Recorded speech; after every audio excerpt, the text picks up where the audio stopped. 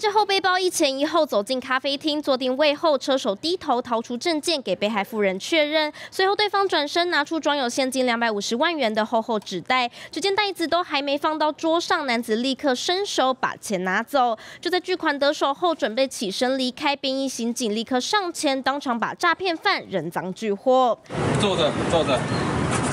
不止二十一岁的汪姓车手被逮个正着，两名林姓共犯也都落网。另外，警方循线追查，发现还有两名在汽车旅馆负责指挥的幕后主使者。原来诈骗车手团由汪姓男子及其他四人组成，他们分别来自台北、高雄等地，这回来到台南西京，以汽车旅馆作为移动据点，方便躲避查缉。本分局十一月二十八日接获金融机构通报，有民众疑似误信假投资。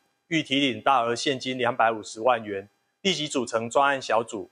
布线追查侦办。根据了解，台南这名被害妇人日前加入投资群组，诈骗集团以他抽中股票为由，要求在期限内分三次面交，并且以现金缴付交割款项。妇人前两次被骗走一百五十万元，二十八号进行最后一次缴款，所幸银行行员察觉有意通报警方，才成功保住剩余积蓄。